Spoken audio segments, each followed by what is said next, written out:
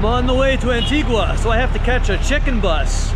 They're buses that were donated by the US government to Guatemala, and uh, they got painted up all beautiful and they're quite cheap. Antigua, amigo.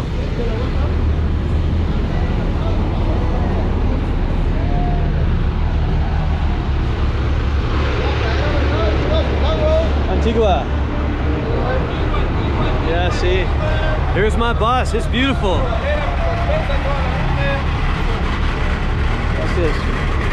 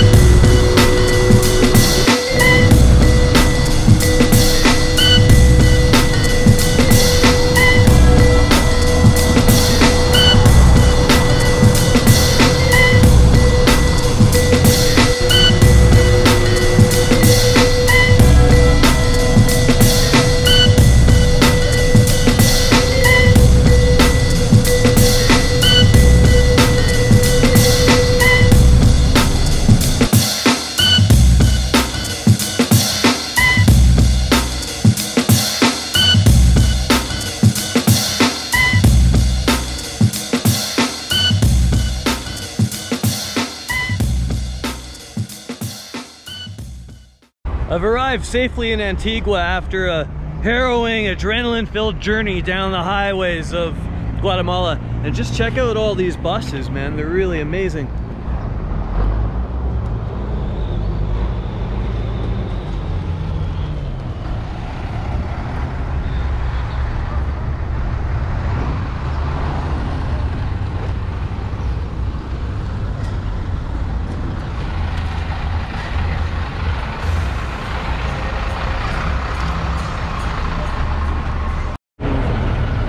See the, Todo bien. yeah, ¿Dó- ¿Dónde caminas? Yeah, the caminas. I'll take the photos. Muy bien, bien. This is my new amigo, my first amigo in Antigua, and he's teaching me amigos. He's teaching me some more Espanol. He asked me how many days am I staying in Antigua, and I said, uh, tres meses. Tres meses. Muy bien. Platica mucho Spanish. Mucho gusto, yes. Muy bien. Yes. Adios, amigo. Hasta luego. Wow, such friendly people here. I just got off the bus, and this this guy talked to me for like a good 10 minutes, and I, I think I, I understood about 20% of what we were talking about. Let's take a look at this town.